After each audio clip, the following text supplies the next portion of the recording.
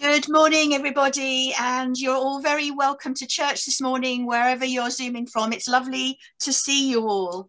Um, just before we begin, just a few um, uh, little notices. Um, there's quite a few things beginning to happen this week. We've got our trial walking group on Monday. Um, we've got Dulce's funeral on Tuesday. We've got Reel to Reel on Wednesday. We've got the church meeting on Thursday, and we've got the normal coffee morning on Friday. Most of all that, of course, uh, on Zoom, apart from the walking group who are meeting on Zoom, actually meeting in real life. All the details are in your weekly um, letter. So if you're not sure of anything, please do check that. And I've also been told that um, the songs of praise on television today I think around one o'clock, I haven't checked it out myself, is apparently uh, featuring or focusing on Swansea. So you might want to check that out as well. Um, but uh, let's all for a moment greet one another with our normal Zoom wave. And uh, I'm delighted to introduce to you this morning uh, our own Reverend Dr. Noel Davies, who's going to lead our worship. And Noel, I hand over to you. Thanks very much, and um, welcome everybody to this worship for this Sunday. Jesus said, And I, when I am lifted up from the earth, will draw all peoples to myself.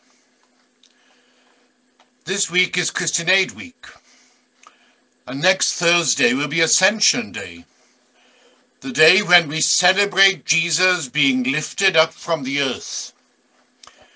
Today, then, we'll explore what this means for us and for today's world, and praise the God who exalted Jesus to the highest place and gave him the name that is above every name that at the name of Jesus every knee should bow in heaven and on earth and under the earth, and every tongue acknowledge that Jesus Christ is Lord, to the glory of God the Father. Let us pray. Lord Jesus Christ, you have ascended beyond horizons our eyes can see, and further than the limits our minds can reach no longer restricted in one place. You are seated on the throne of heaven and present in all places. Though now we cannot ascend to where you are, still raise our hopes and hearts that our discipleship in this world may be touched with the glory of heaven, and our lives be promises of the fullness of the life to come. Amen. Our first hymn, sorry, I've now lost my text. Our first hymn celebrates our ascending Lord and is sung, interestingly, by the congregation in the Wesley New Room in Bristol, the oldest Wesley building in Britain. And it was sung on Wesley Day 2012. We sing the praise of Jesus of our ascending Lord.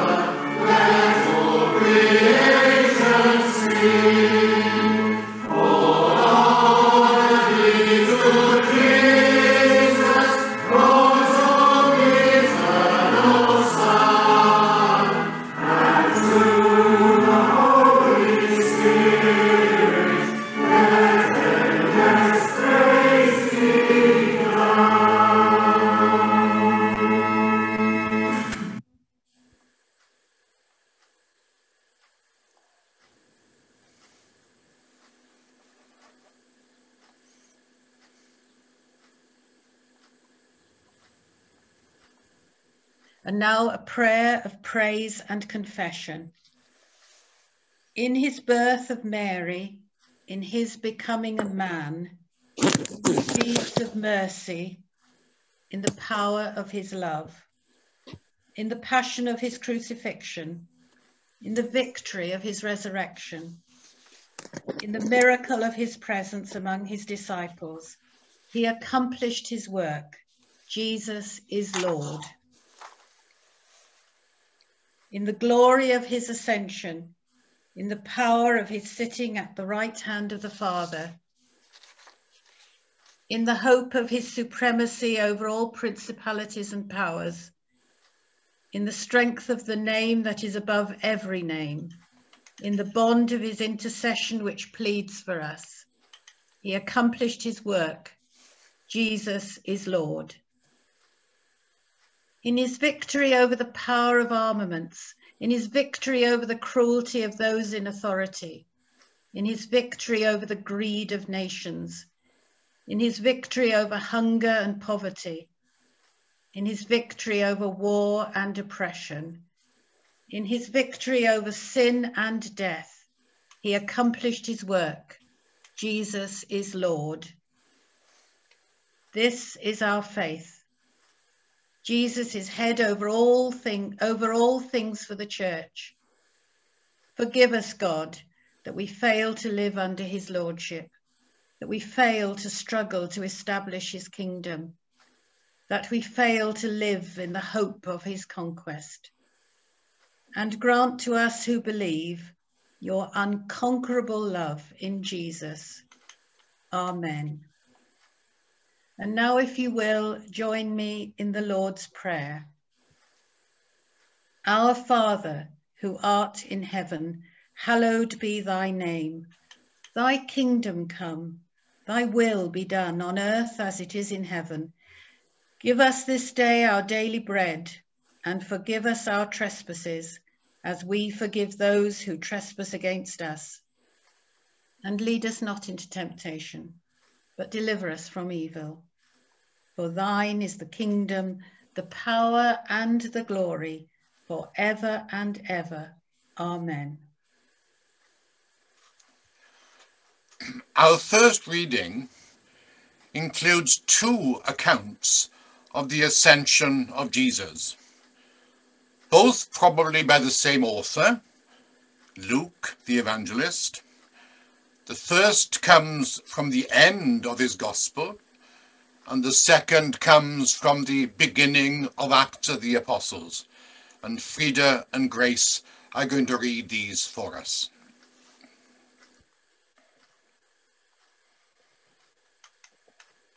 Then Jesus opened their minds so they could understand the scriptures. He told them, This is what is written The Christ will suffer and rise from the dead on the third day, and repentance and forgiveness of sins will be preached in his name to all nations, beginning at Jerusalem. You are witnesses of these things. I'm going to send you what my father has promised, but stay in the city until you have been clothed with power from on high. When he had led them out to the vicinity of Bethany, he lifted up his hands and blessed them. While he was blessing them, he left them and was taken up into heaven. Then they worshipped him and returned to Jerusalem with great joy. And they stayed continually at the temple, praising God.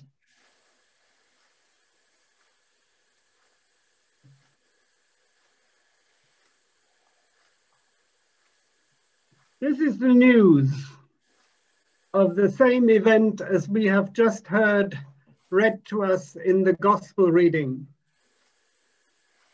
Although it has a different emphasis and some added details, but it's, as Noel said, from the same author, the Acts of the Apostles, of course, which is a total misnomer because it's not about the Acts of the Apostles at all. It's about the Acts of the ascended Jesus Christ. But there we are. Acts for short, chapter 1 and the verses 6 to 11. When the apostles met together, they asked Jesus, Lord, are you going to restore the kingdom to Israel at this time? Jesus replied to them, It is not for you to know the times and the dates the Father has set by his own authority, but you will receive power when the Holy Spirit comes on you, and you will be my disciples in Jerusalem and in all Judea and Samaria and to the ends of the earth. After he had said this, he was taken up before their very eyes, and a cloud hid him from their sight. They were looking intently up into the sky as he was going when suddenly two men dressed in white stood beside them. Men of Galilee, they said. Why do you stand here looking into the sky? This same Jesus who has been taken from you into heaven will come to you again in the same way as he has been taken from you. May God give us the exact understanding of his word.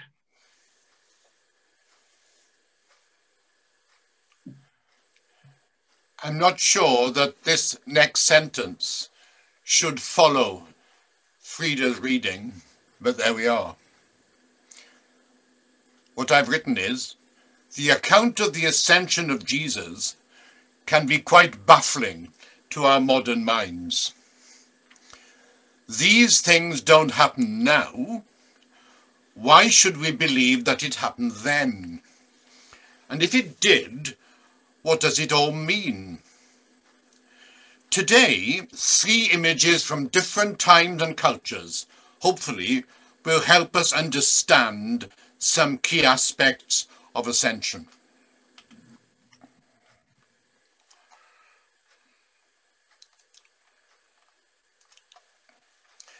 The first slide comes from Africa. It tells a simple story.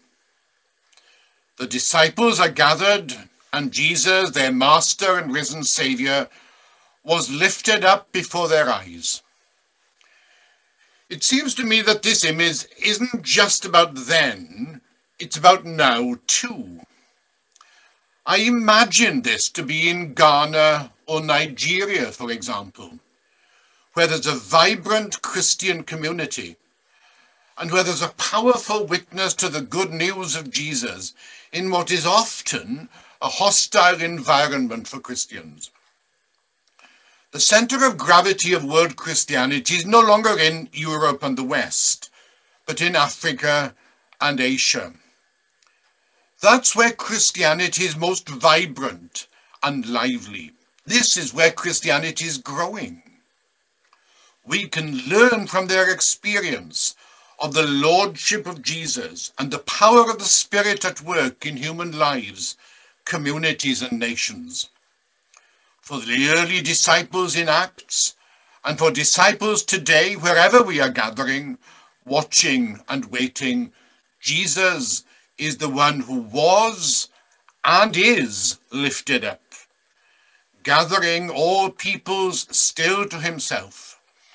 And we, like them, must gaze and wonder and wait.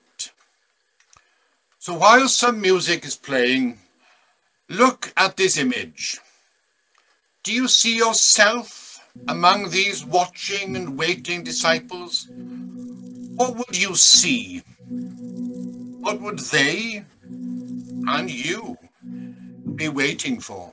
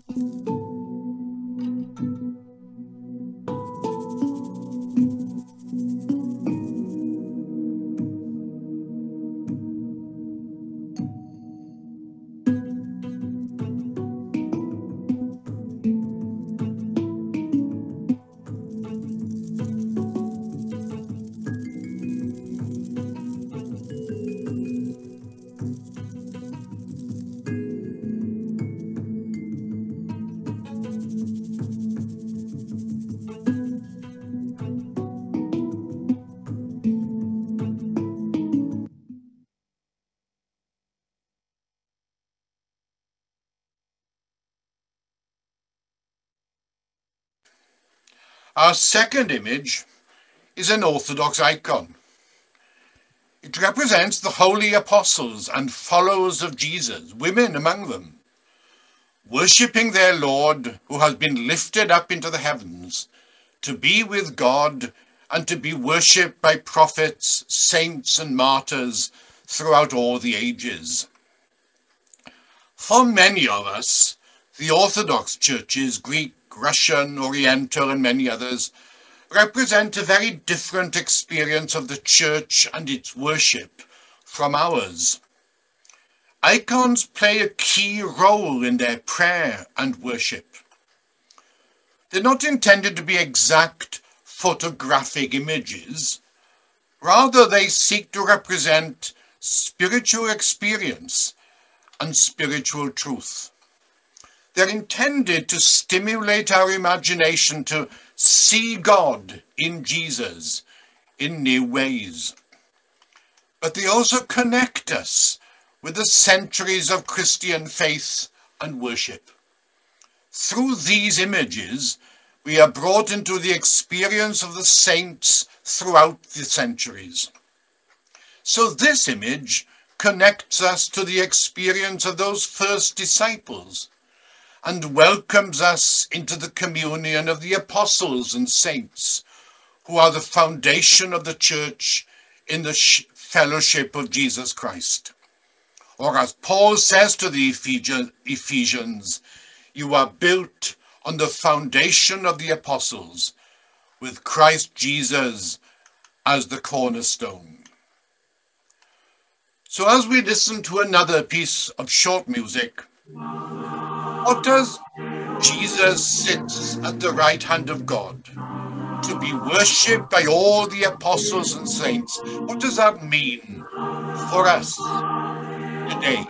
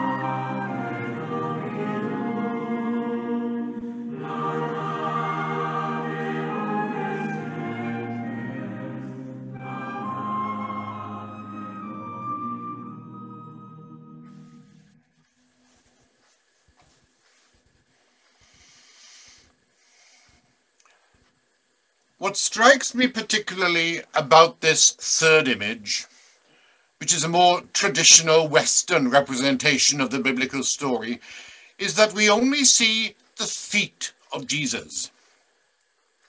But if you look carefully, his feet bear the scars of crucifixion.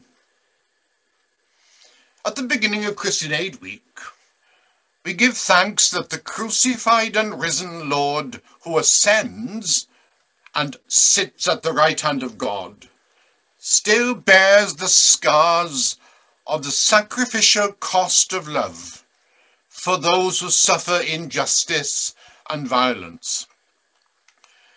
People have been scarred by what life has done to them through the COVID-19 pandemic and through human violence, injustice and oppression in places like India, Myanmar, Syria, Yemen, can know that Jesus still bears the scars of human suffering.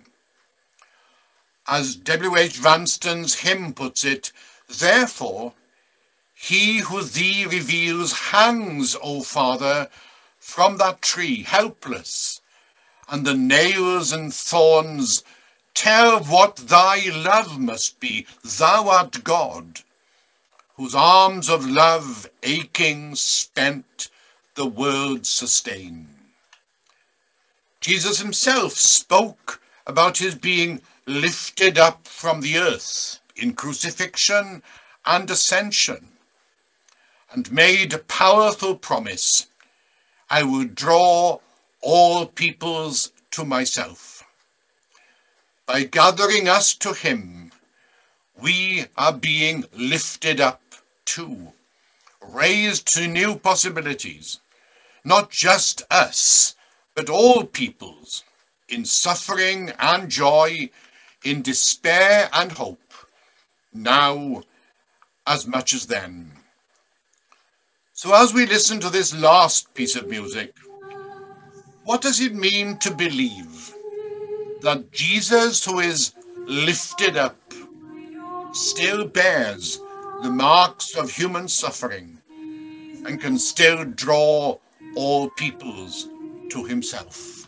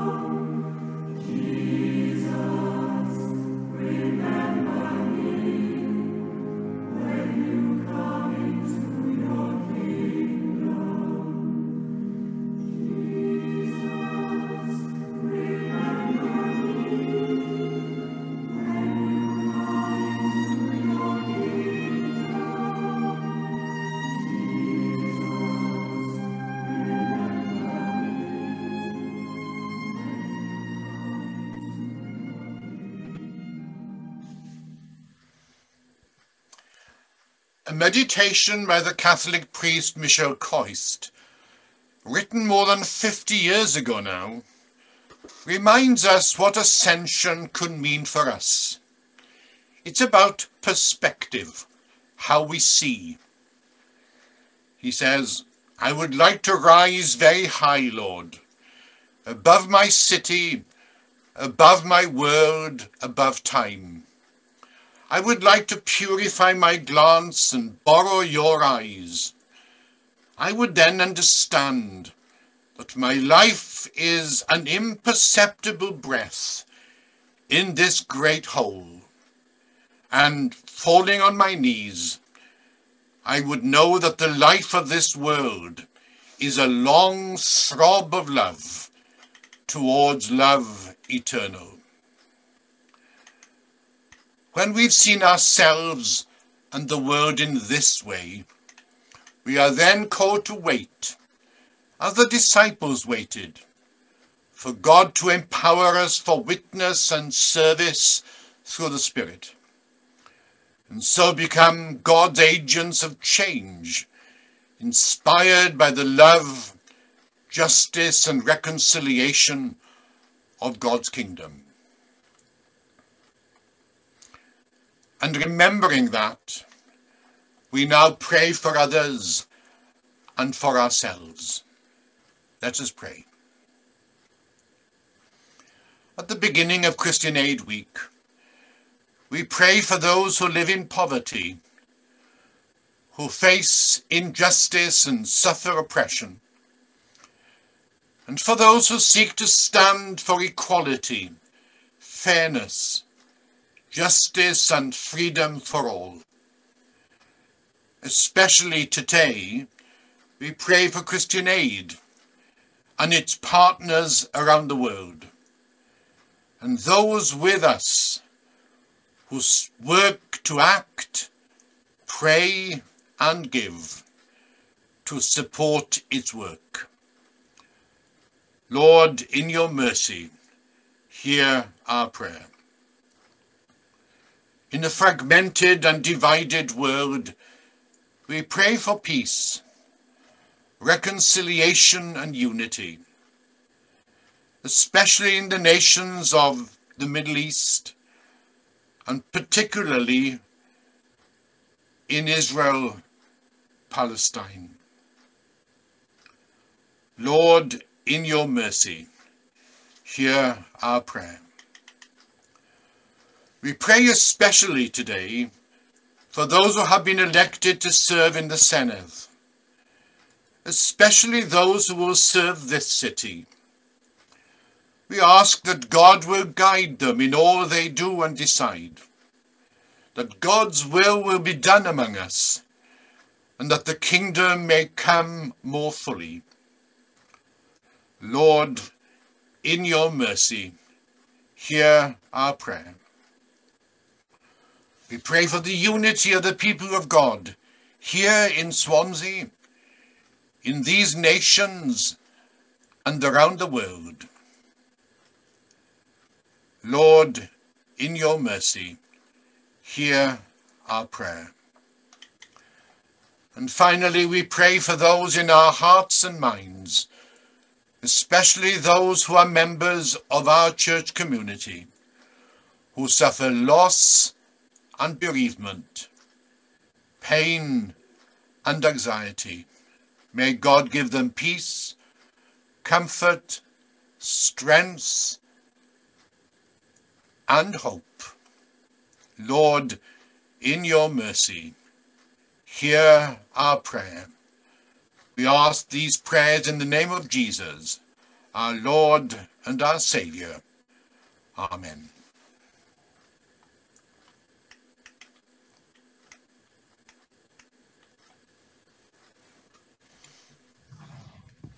Our final reading is from Ephesians chapter 1 and verses 18 to 23. I pray that your inward eyes may be enlightened, so that you may know what is the hope to which he calls you, how rich and glorious is the share he offers you among his people in their inheritance, and how vast are the resources of his power open to us who have faith. His mighty strength was seen at work when he raised Christ from the dead and enthroned him at his right hand in the heavenly realms, far above all government and authority, all power and dominion, and any title of sovereignty that commands allegiance, not only in this age, but also in the age to come. He put all things in subjection beneath his feet and gave him as head over all things to the church, which is his body, the fullness of him who is filling the universe in all its parts. Thanks be to God. Amen. Our final hymn celebrates that faith. Jesus is Lord, creation's voice proclaims it.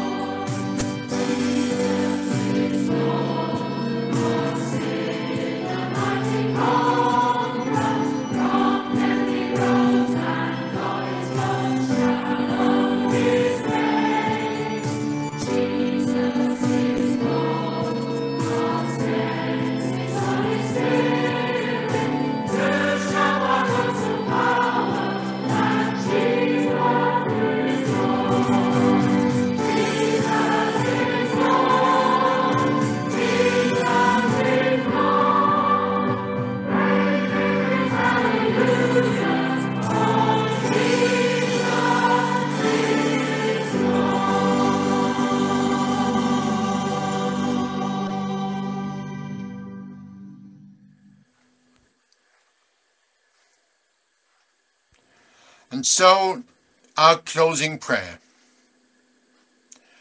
Ascended Lord, we have watched and we shall wait in expectation and hope, knowing that you still send your Spirit to empower your people. Empower us to be workers and witnesses in your kingdom. And as we go on our way, may God, our Creator, Redeemer, and Renewer, bless us with peace, joy, and love, now and always. Amen.